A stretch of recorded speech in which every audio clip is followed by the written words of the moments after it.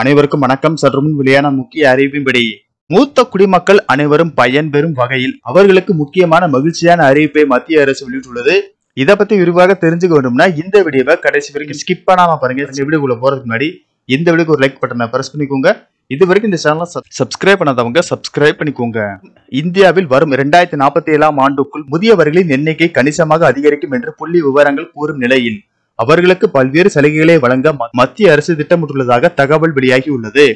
பெற்றோரை கவனித்துக் கொள்வது பிள்ளைகளின் பொறுப்பு. ஆனால் இன்று பலர் வயதான பெற்றோரை பற்றி கவலைப்படுவதில்லை. அத்தகைய நேரத்தில் அவர்கள் ஆதரவற்றவர்களாக மாறுகிறார்கள். இதை மனதில் வைத்து மூத்த குடிமக்களுக்கு ஏற்ற ஆரோக்கிய வாழ்வுடன் சமூக மற்றும் பொருளாதார பாதுகாப்பை வழங்குவதற்காக மத்திய அரசு அடல் வய அப்யுதய யோஜனா என்ற திட்டத்தை அறிமுகப்படுத்தி உள்ளது இத்திட்டத்தின் மூலம் முதியோர்களை மத்திய அரசு ஆதரிக்கிறது.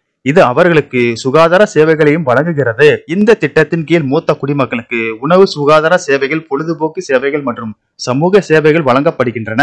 நிதி உதவியும் வழங்குகிறது. நாட்டில் உள்ள முதியோர்களுக்கு மருத்துவ வசதிகளை வழங்குவது மட்டுமின்றி முதியோர் இல்லங்களை மேம்படுத்தவும் வயோஸ்ரீ திட்டத்தின் கீழ் முதியோர்களுக்கு கண்ணாடி வாக்கிங் ஸ்டிக் காது கேட்கும் கருவி போன்ற உபகரணங்களை வழங்கவும் இந்த தொகை செலவிடப்படும். அடல் வயோ அப்யுதே யோஜனாவின் நன்மைகள்.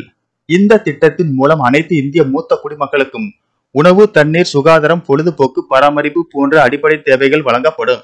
இத்திட்டத்தின் கீழ் நாட்டின் அனைத்து மாநிலங்களிலும் முதியோர் இல்லங்கள் அமைக்கப்படும். நாட்டின் அனைத்து மாநில தலைநகரங்களிலும் முதியோர் சிகிச்சைக்காக பராமரிப்பு மையங்கள் நிறுவப்பட்டுள்ளன.